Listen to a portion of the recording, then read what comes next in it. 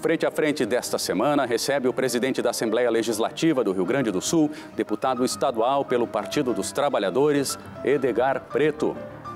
Frente a Frente, nesta quinta, 10 da noite.